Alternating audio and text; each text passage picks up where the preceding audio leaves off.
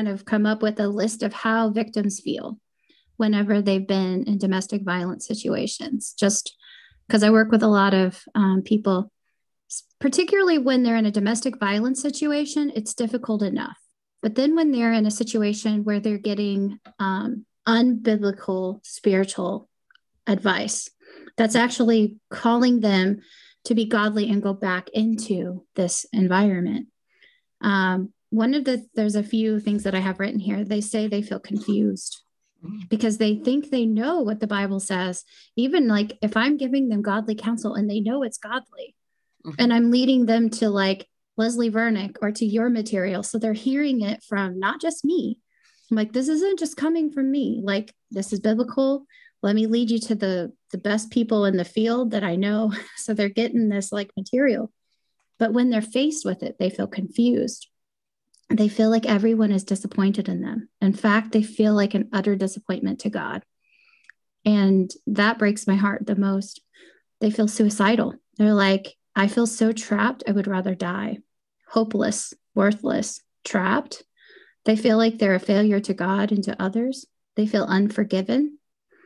They doubt what I know is true. They begin to doubt everything. Um, and then I had somebody tell me recently, I feel like I can't think for myself. I'm just supposed to do what I'm told. Mm. And doubt, so they doubt their salvation. And then um, I've heard this many times I have to do whatever any male in my church tells me, whether it's my spouse or a lay counselor, because that's this like, you know, they use this male hierarchy. Like you're supposed to listen to us because we're the spiritual leaders. And I've actually come front to face to face with some of these male counselors who are misusing this information and they don't know what to do with me. They're, they're like, I have never had a female confront me on my stuff. Mm-hmm. I'm like, I'm confronting you with God's word. Like, I'm not confronting you. It's God who's actually confronting you. I've had people who were cussed at from a lay counselor saying, you need to stop being the victim and just go home. And I'm like, when's the last time you see Jesus using that tactic in the Bible? And they're like, never. But they are so, it's been so ingrained in them sometimes from a very early age that even when you begin giving them, going back to your point on wisdom, when you begin giving them truth and wisdom, it can sometimes feel like you're, you're like, you know, on an uphill incline, like almost feels like you're never good, like you're, you're swimming upstream, right? And I'm like, I've, I know Leslie Vernick said um, in one of the conferences I listened to, she said how she used an example with a girl that she's like, I'm trying to get the diesel off of you. You've been run over. The diesel's on you. I'm trying to lift it off and you keep putting it back on. Wow. Mm. Isn't that interesting? And I've used that with people who, but ultimately they have to make the decision. Now, when you're in a situation where you have a child who's observing the domestic violence, this is where we can be gatekeepers and you know make a report. And then there's accountability. I have seen accountability reports become i've they've always something positive has always come out of them even though i'm not popular when i have to make the report. Mm-hmm. um, but i've seen parents go get counseling who never would have gone to get counseling. I've seen men completely turn their lives over to jesus because they've had a cps report made where the wife had to say either it's him or the kids. you get to make a decision, right? So I think going back to your point where you're like, whenever we continue to enable, the abuse continues. It's the verse. You you know the Bible in a way that I've never seen anybody know the Bible. And so like after I've met you several times, I'll be like, I'm gonna really, I don't memorize particular scriptures very well, but I have like an overall view. Um, and I've come to understand that's okay. But I'm sure you'll know right where I'm going, but there's the verse that says, What is in the darkness will continue to be dark and sin. But when it comes to the light, that's where healing can be found. Do you know what verse I'm talking about? no, I don't right now, but but I I I know the Bible says he will turn your darkness into light. In fact, mm-hmm. that's our theme verse for um, for uh, hope in the night. In fact, the first time, the first year we were doing Hope in the Night, I, re- I received a caller, uh, we I was talking with a woman, and she was from Houston, and she uh, said, uh, "What do I do if I have a husband who's abusive?" I said, well, "What do you mean by abuse?" Because you know somebody can think, "Well, somebody just looks at you the wrong way. That's abusive." Well, just right. She said, "Well," she said, um, "My husband grabbed me by my hair." pulled me down the stairs and then kicked and kicked and kicked. I said, that is abuse. That is abuse. That's absolutely abuse. Yeah. And so, uh, in talking with her, uh, we were a brand new program, and I said, um, have, have you been to your pastor? Long pause. My husband is the pastor. I did not expect that. And then she said, I remember you telling that story somewhere along the way, maybe in yeah. your domestic violence conference two years ago. Yeah. And so then it's like, well, have you been, have you talked to like the chairman of the board of elders or deacons? Oh, no, they're just his friends. And so I'm trying to think, Lord, put into my mind what I need to put in, know, what, what, what, I, what I need to say. I said, Tell me, do you love your children? Oh, with my life. I said, What do you have? Who, you know, she has a son and a daughter. And uh, I said, So you, you're telling me you love your son with your life? Yes. So would it be okay if your son grew up to be like your husband? Oh no, oh no, no, no, I would never want that. Well, what about your daughter? Do you want your daughter to grow up just accepting abuse? No, no, never. I said, Well, you're teaching your son, if there's no intervention, you're teaching your son this is how husbands treat their wives so that when he becomes a husband one day, this is the likelihood of what he would do. Oh no, she said. I said, and your daughter, if all she sees is you accepting abuse, then she doesn't feel empowered to do anything else except accept abuse. Do you know that is what motivated her to action? She wouldn't do it for herself but she loved her children with her life. And so she knew she had to take action. And sometimes when we're talking with someone, we have to realize they won't take action for themselves, but they would for the persons that they love the dearest, which could be their children. And the important thing is I think we have a mindset of, oh, I just, I don't, I don't want him to be upset with me or whatever the language is. Wait a minute. Um, what a person is doing who is committing domestic violence, this is against the word of God. It is the law, the heart of God. It's against the law of the land. Yeah and it's against the law of God. Yeah. So, how can God bless someone who is going against God's word and his will? In fact, sometimes you have to take intervention, take, take, take steps to intervene in order for that person to reach out and get help to change. And in the end, and you've already in, intimated you you've experienced this in the end it is an act of of um, i'm going to use the word righteousness. Righteousness means what's right in god's sight. And you know you say well do you want god's blessing on your family? Oh yes. Or do you want god's blessing on your life? Yes.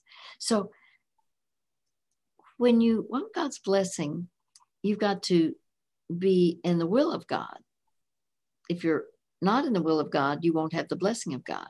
Well, what is the will of God? Well, part of his will is what he he has communicated in his word. So if it's going against the word of God, then you're not in the will of God.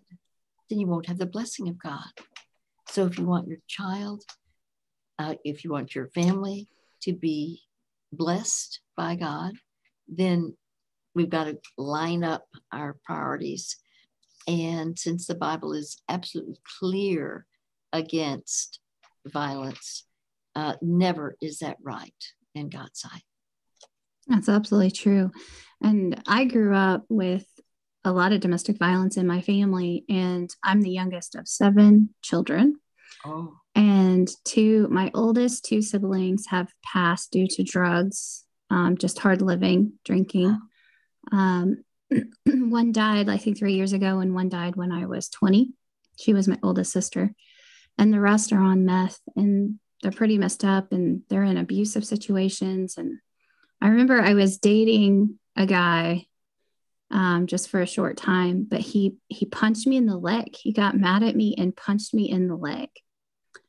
And at this point, I'm a Christian, and um, I just said very calmly, "I need you to take me home."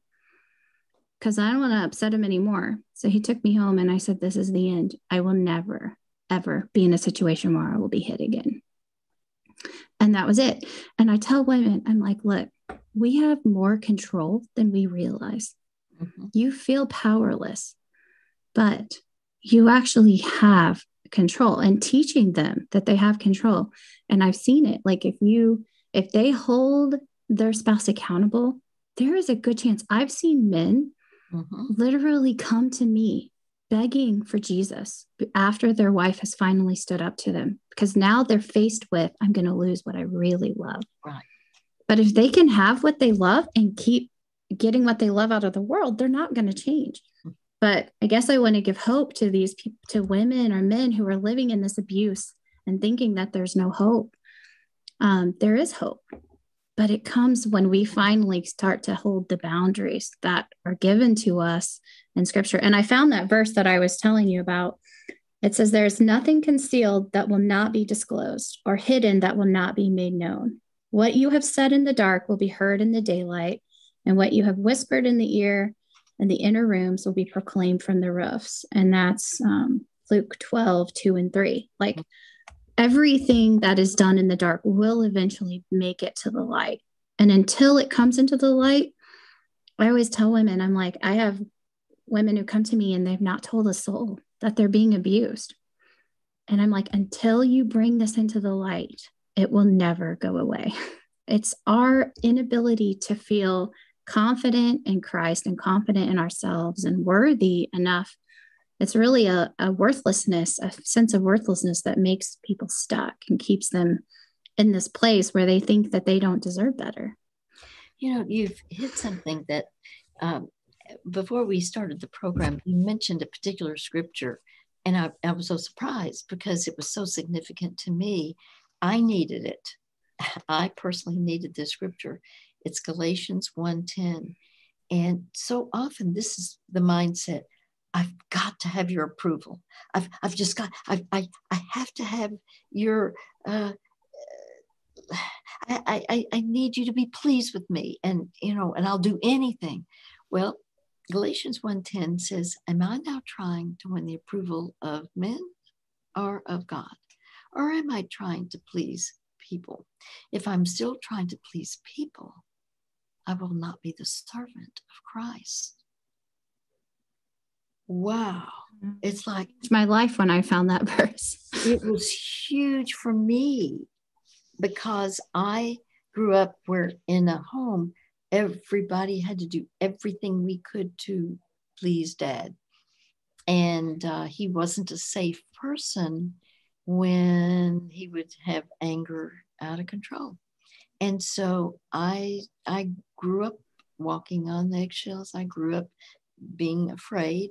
So I know what it's like to have to rethink. And that means because you and I both have had that scripture impact us tremendously. It's like, am I now trying to win the approval of people or am I trying to please God? You know, if I'm still trying to please people, then I won't be the servant of Christ. So it, this is the way I say it.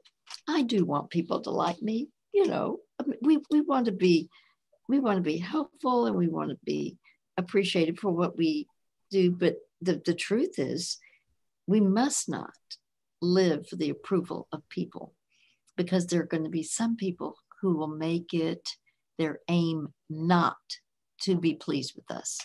And sometimes it's just plain stubbornness. It, it's like, no, I'm not going to let you know that you're right. I'm not going to let you know that I'm pleased because that is, I think of the seesaw. You know, uh, you get it on a seesaw and you go up and down and back and forth. Well, as long as someone is not pleased with you, they feel superior. They they're, they have this up position, and they're looking down at you. So instead, a seesaw teeter tot is supposed to go back and forth, and that's kind of you do this as children or can do it as, as adults. But the fact is, this seesaw business. Understand the one who has a critical spirit. They are going to make sure that they stay criticizing you. They're going to be fault finders. Well, what do fault finders find? The only thing they're looking for is fault. So they're going to find fault and they feel superior then. And so we have three inner needs for love, significance, and security. So, love, significance, they get their need for significance met by feeling I am more important. I what I say goes, this is not this is not the way of Christ. This is not the way we should be. And you know, the Bible does say about people and that we're where we're in relationships, um, bad company corrupts good character. Bad company corrupts good character. And so what we need to evaluate is at how much time are we giving people who are very unhealthy in their thinking? How much control are we giving them in regard to our minds and our attitudes? And, you know, are, are we adopting a mindset that's not right in God's sight? Um, the a similar parallel passage to the Luke passage you mentioned.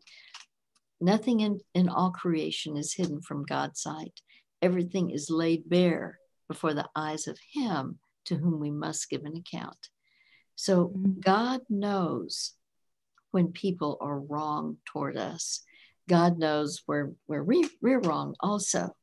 But the, the key is not to just perpetuate, to, to perpetuate unhealthy relationships and unhealthy interactions.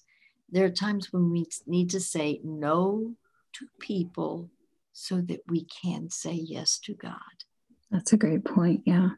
And I think it's always helped me to remember the scripture that says, Vengeance is mine, declareth the Lord. And I remember um, my stepdad, he was, I mean, he was a demon mm-hmm. and he drank all the time and he like would beat us. He would, um, there was never a safe moment. I don't remember ever feeling safe in my home. But when he passed, I remember this when my mom called me and told me that he had stage four lung cancer. I had been a Christian for a while, and my immediate thought was, that's what you get for mm-hmm. hurting me. And immediately God said, that's my child. Mm. And I'm like, well, he's not a very good one. but, um, and I remember being like, okay, God, help me to love him because right now there's so much hurt. Mm-hmm. I pretty much lost my childhood because of this man. Um, well, my mom wasn't a jewel either, but things got really bad when he showed up. So fast forward, I start I kept praying, like, God help me. You know, I didn't, my daughter was little at the time. She had just been born. So I didn't go see him. I didn't want to see him. Um, but he was like dying. He was in the hospital. And I ended up feeling God say, You need to go to him that man was wrestling with demons like I've never seen. Wow. He was, I mean, uh, uh, like, and I could feel the the the demons just like grasping him, and he was struggling, and he couldn't talk. He was so sick, and I just said his name. I said, "Do you have peace?" And he said, "No, no." Like he didn't say anything coherent all day, but when I asked him if he had peace, he's like, "No, no, no." then I was like, okay, um, thanks for letting me know. And I left. I don't know why. I didn't feel confident to lead somebody to the Lord yet. So I ended up leaving and I called a pastor and asked them to go and um, meet with my stepdad. And he did. He accepted Christ um, right before he, he passed away. Um, and I remember sh- I struggled with that and I felt bad about it because I knew like that's God's plan. But I said to God, I said, why does this man who hurt me, who yeah. was so angry, get to go to the same place that I get to go to? And I'll never forget what God said to me. He said, Crystal, he lived his hell on earth. Wow.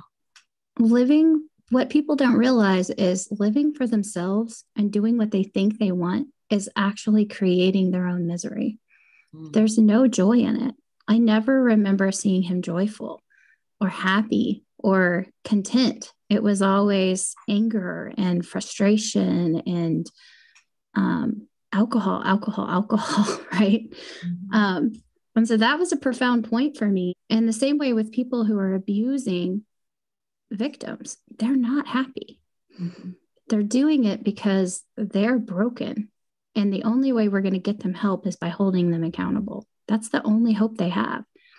I don't know about you, but I have never seen somebody just suddenly be like, I think I need to get help. Usually there has to be some intervention that comes head to head with them where they're suddenly like, okay, either there's some kind of legal intervention. I've had women, um, I used to lead addictions groups, and I'll never forget this. This young lady said, I was so angry with the person who reported me to CPS.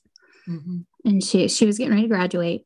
She said, if I could find that person today, I would kiss them and hug them because they gave me my life back. Is that not powerful? wow. Wow. That's the value of watching and, and, being able to admit, okay, I'm not where I need to be and I need help. And those who recognize they need help, that's wonderful. But then they need to go to the kind of person who can give help. I do believe Christian counselors uh, if they are wise Christian counselors, then there is an incredible amount of life changing help. And that means sometimes you have to look at a particular topic, since we talked about domestic violence, to understand why do people get into this? Well, sometimes this is what you grew up with. You had harshness, you're being treated a certain way, and that becomes your norm. And then you find out oh, my normal isn't normal. And I used to, you think I, you know, you don't know that you, your normal isn't normal. Whatever you have is what you have. But then when you go, oh, and, and just, I, I think the key is ask God to give you. This is a Proverbs. Uh,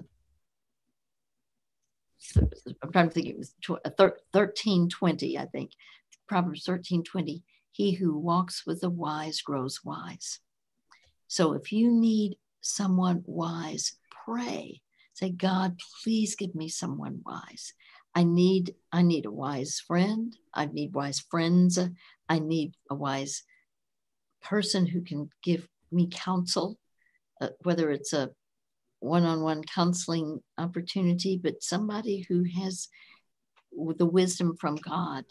And then when you like if it's if it is in this area of spiritual abuse if it is in the area of of domestic violence if it is in the area of anger whatever find out what does god really say about it and you'll be empowered to not be a victim of if it's anger somebody else's anger or somebody else's spiritual abuse or a victim of someone else's abusive treatment, you know, domestic violence, then then you find out, okay, then how do I not succumb? And then there's material that's available and it's I think it's incredibly valuable. And what I love about what you do, Crystal, is you're very specific. You don't just sit there and just say, well, just let's talk about whatever you want to talk about and you twiddle your thumbs and there there are those counselors who just they they it's kind of called a non-directive. You know, they don't direct the conversation, and they just say, "Well, I'll just let them talk about whatever they want to talk about." Well, no, at times we need to listen to what God is saying in regard to that person, and then reveal the truth. So I'm I'm very grateful for your ministry, Crystal, because you're needed desperately in our world.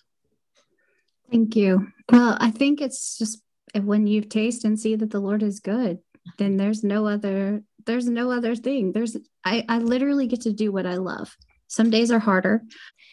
There are times when we have a shutdown, and um, education in terms of a course we're we're not going to be connecting because of the pain. In my sophomore year um, i was beaten and uh, by my dad because i challenged him about his women. And uh, it was it, the conversation just went terribly south neg- negatively.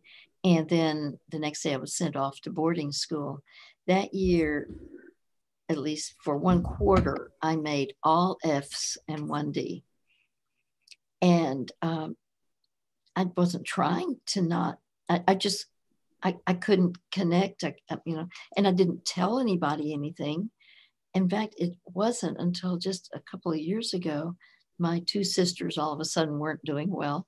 And they asked me to be on a Zoom call uh, with a counselor, um, a coach, they said, and so the so there are the three of us, and they said, okay, uh, June, why don't we begin with you? What was it like for you growing up? And I thought, I thought I'm here to help them, but anyway, so I start telling, and then I'm telling about being sent away to boarding school and making terrible grades and and one of them said i thought you wanted to be gone I I just thought I didn't know it. That, you know, there are times when family they have no idea of the accuracy of what really went on. And she began to cry, this sister, and she said, "I didn't reach out to you. I I was there on campus, you know, like four years younger, but she said I I, I just didn't know. So, you know." A lot of times people think, well, you know what we went through no, you can be in the same family and you're treated differently. And you can be treated differently. Um, then they ended up saying, June, you were the lightning rod for dad. You know, he took everything out on you because you were trying to protect mom. And you know, I didn't I didn't know that they in fact they said, Why why didn't you tell us what was going on? And I thought, well, you were there. but no, they we we must not. Expect, they were all in their survival mode. Yeah, and they and you can be treated differently. You know, sometimes it's a gender. Sometimes a son is treated much better than a daughter. Often mm-hmm. it's that that direction. But you know, whatever it is, we need to be aware that God is the one who can heal the brokenhearted. It, the, the, I love that uh, he heals the brokenhearted and saves those who are crushed in spirit. Isn't that precious? And it's one of my favorite verses. It's gotten me through many, many tough times. You know, it's interesting that you say that because, you know, my siblings, I think they really think that things just came easy for me because they've never sat down and said, How did you, you know, get through this? They just are angry with me because I've made something out of my life. I've never judged them. I've never, I don't even really talk to them my sister that sent me a mean message, I'm like, I've been out of the picture since I was 16. How could I possibly be making your life this terrible? Right. But they're so full of like, they need Jesus so much. And, um, but I was thinking about like, nobody knows what we went through to get to this process of healing.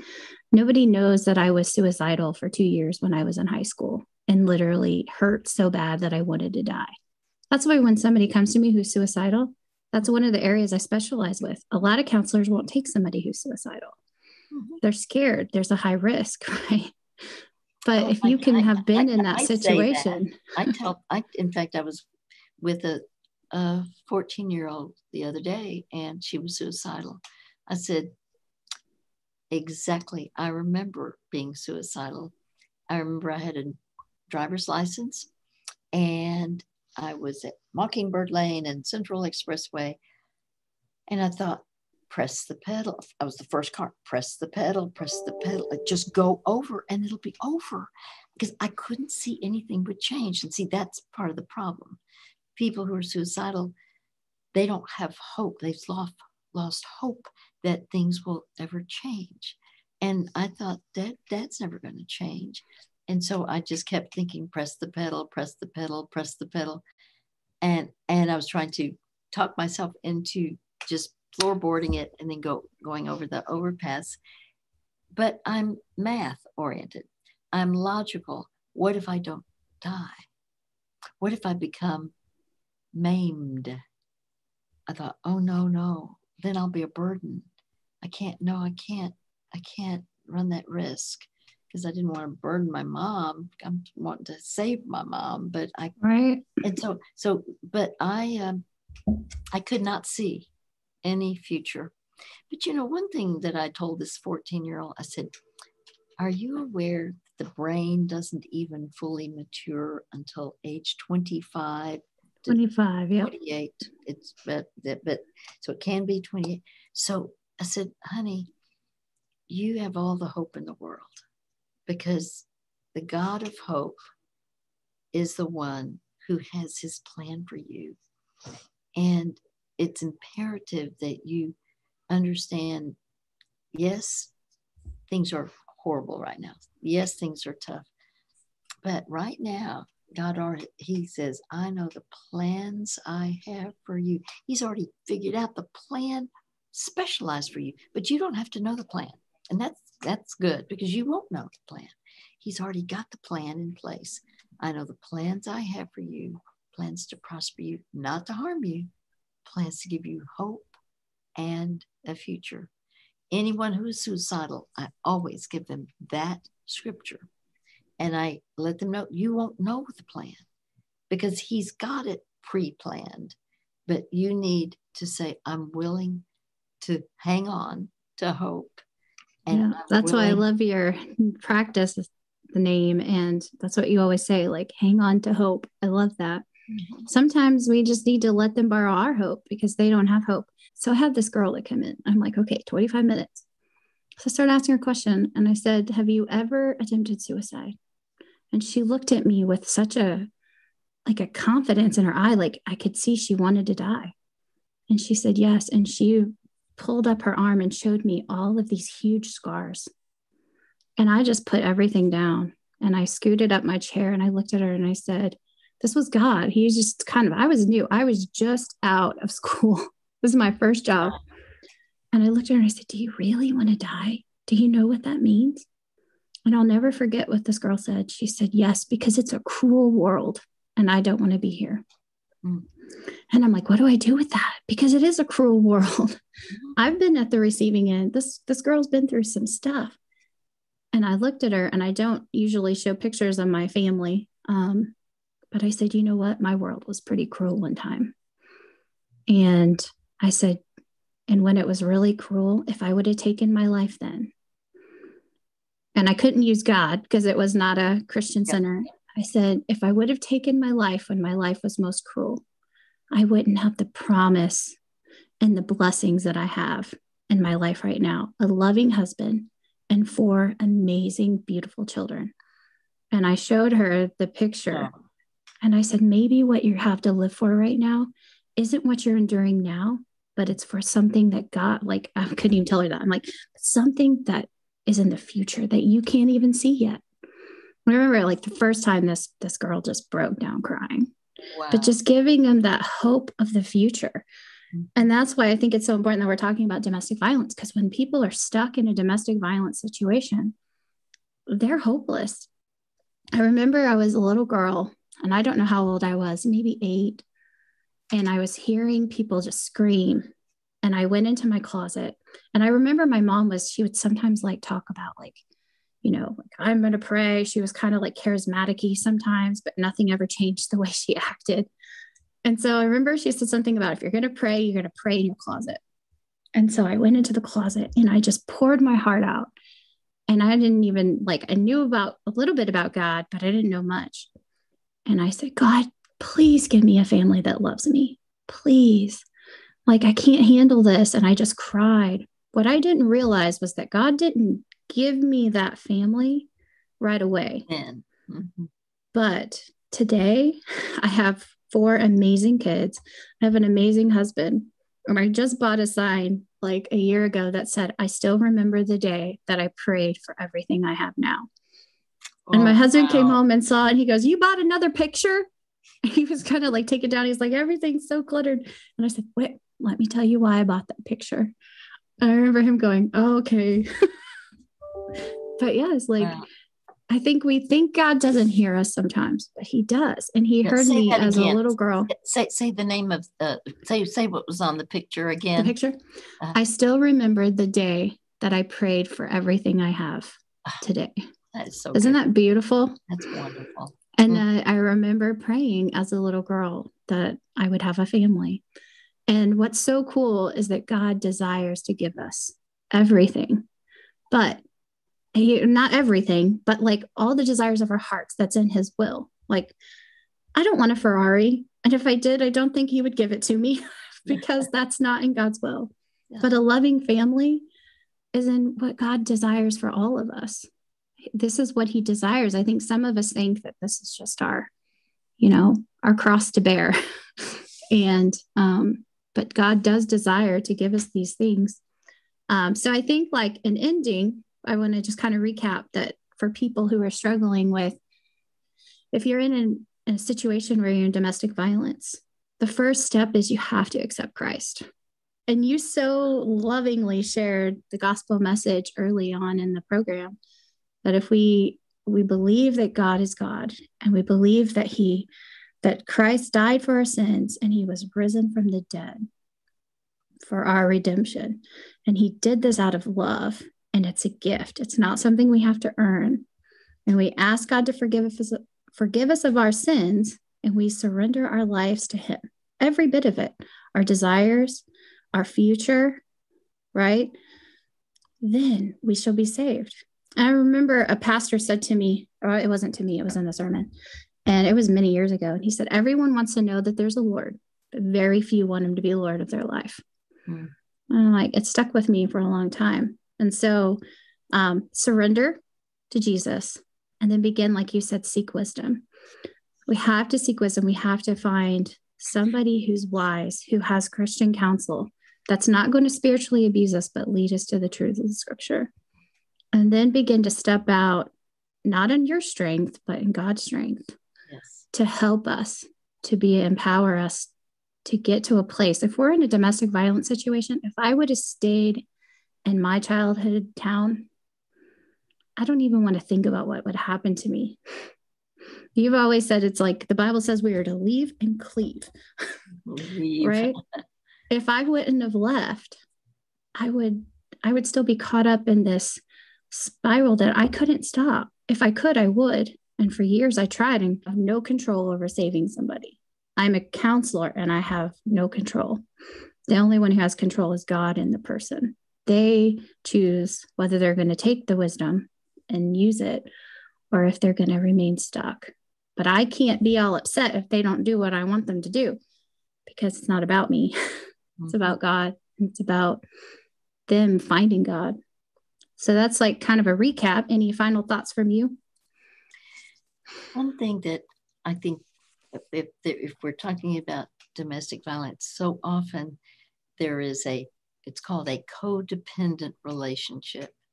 It's like, but I need to be his all in all.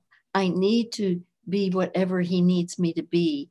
And it feels very sacrificial very mm-hmm. honoring. Look, I'm I'm doing what's honoring, but with codependency, what that means is basically those who are codependent. The word co means with, and so you're with someone who actually has a wrong dependence if they're they're they're unhealthy in their lifestyle, and so instead of supporting that which they don't they need to change but Instead, we need to be the ones to change. And that means instead of being codependent, uh, and that means I'm literally uh, addicted to that relationship. It's a relationship addiction. And instead, it's saying, I'm now going to end up, I want to be the person you created me to be, Lord. And this is not a healthy relationship. And there has to be something that changes. And that means I've got to be the one to change. And you can even say, I, I ask your forgiveness at times. I've tried to um, be extra pleasing or I've, I've had wrong priorities. And so I just ask you to forgive me. And then you turn around now and you're going to prioritize being the person God created you to be. And that means at times saying no to a person so that you can say yes to God. Mm-hmm. And then the dynamic can change and you will be so grateful for that. Yeah, that's a good point. Um, so, June, you are a blessing to me, and you are, are a blessing to so many. And um, I think that being in the ministry, I know, can be really draining. And I know that the only way we can do it well is in God's strength. If I don't start out my day in prayer and with the devotion, I always feel it. I don't do as well as I like, don't feel as strong necessarily when I'm in, um, when I'm faced with the stuff of the world or difficult clients. Um, but I remember one day I was going to end with this scripture is one one particular day I, I saw like 11 people in a day and this was several years ago. And i had a long drive home and it was dark. It was like 10 o'clock and i was drained and i was tired and i heard so many like heart-wrenching things that day and i just was like praying and i'm like god how do you do this like i have you know I listened to 10 people today or 11, and my heart is just so like weary. Like, how do you do this with every single person in the entire world? And so I just kind of listened to some worship music and was in a state of prayer. And then I pulled into my driveway, which is a really long, it was, we moved, but it was a fourth of a mile long. And I sat at the end and I was like, I typed in scriptures for the for for ministry, people in the ministry who are weary. And God led me to Isaiah 61. The Spirit of the Sovereign Lord is on me because the Lord has anointed me to proclaim good news to the poor. He has sent me to bind up the brokenhearted, to proclaim freedom for the captives, and release from darkness for the prisoners, to proclaim the year of the Lord's favor and the day of vengeance of our God, to comfort all who mourn and provide for those who grieve in Zion, to bestow on them a crown of beauty instead of ashes, the oil of joy instead of mourning, and a garment of praise instead of spirit of despair. Mm. They will be called oaks of righteousness, a planting of the Lord for the display of his splendor. They will rebuild the ancient ruins and restore the places long devastated. They will renew the ruined cities that have been devastated for generations. Strangers will shepherd your flocks, foreigners will work your fields and vineyards, and you will be called priests of the Lord. You will be named ministers of our God. You will feed on the wealth of nations, and in their riches you will boast. Instead of your shame, you will receive a double portion, and instead of disgrace, you will rejoice in your inheritance. And so you will inherit a double portion in your land, and everlasting joy will be yours. For I, the Lord, love justice. I hate robbery and wrongdoing. In my faithfulness, I will reward my people and make an everlasting covenant with them. Their descendants will be known among the nations and their offspring among the people. All who see them will acknowledge that they are a people the Lord has blessed. I delight greatly in the Lord, for my soul rejoices in my God. For he has clothed me with garments of salvation and arrayed me in a robe of his righteousness, as a bridegroom adorns his head like a priest, and a bride adorns herself with her jewels.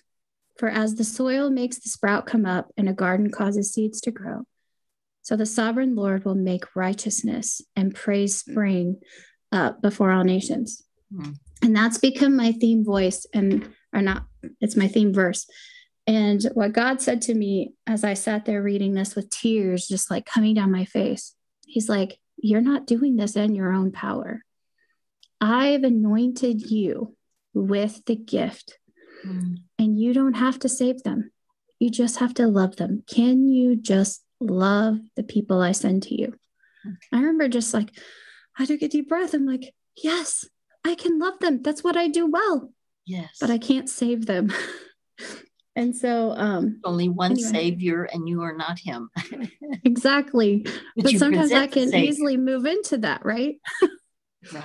And so that really gave me freedom. And I also think it really stands up against all these arguments that we're called to live in an abusive situation. If you read through this, you see very clearly that that's not God's plan. No. He wants people, He wants us as ministers to help lead people to a place where they're free, not to push them into a shame position where they remain stuck, but a place where they can find freedom and joy. The Bible says Jesus came so that we can have abundant life. An abundant life isn't remaining in an abusive environment. No. So thank you for sharing today. It was a blessing to me. And I know anybody who listens to this podcast, I'll also upload it on YouTube. Um, so it will be there for lots of people to see. I will share with you the link. I'll send it to your website. Um, how would you feel about closing us, closing and praying for anybody who needs wisdom, Jesus, and help if they're in a domestic violence situation? I'm honored to do that. Thank Heavenly you. Father, thank you that you have given great wisdom to Crystal. Thank you that you impart your truths to us freely if we will just listen and apply what you've presented to us. And uh, right now, for the one who is struggling, not knowing what to do because of a very difficult relationship, thank you that you've already communicated in your holy word that there are times when we do need to evaluate our priorities and not live for the approval of someone else because many times, no matter how much we try, we will not have approval because that's the leverage that that person has over us. Lord, I pray for the one who knows that something needs to change. Thank you that you're the change agent and that sometimes that change begins with us where the relationship has to be yielded to you and we don't prioritize another person or else we are literally uh, prioritizing a person over you lord jesus. And so instead i just pray that you will take these truths that are presented in this time together that we've had and uh, empower those who need to hear from you based on your word that has been spoken. Uh, we pray that there would be lasting change. I pray that there will be uh, a, an uneasiness if things need to change. I pray that we would have an uneasiness, uh, a lack of peace, because what you've told us is we are given a peace that passes all understanding through um, your Holy Spirit, who gives us his peace. But if we're not in the right relationship, if we're not in line with what is right in your sight, then we will have a lack of peace. And may that be the impetus to instead say, All right, Lord, I'm willing to change, instead of me just putting up with what's wrong or just uh, being a victim. Um, I have a choice. I, I can do what you say in your word, and that is not accept that which is abusive, uh, to not associate at times with those who are easily angered, that we have a choice to set a boundary to say no to people so that we can mm-hmm. say yes to you, Lord. Thank you for truth that sets us free. In Jesus' name we pray. Amen. Amen. Thank you, June. It was a blessing. Thank you, Crystal. It was a joy.